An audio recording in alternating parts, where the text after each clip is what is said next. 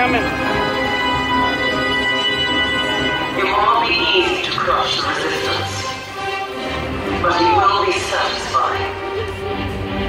If you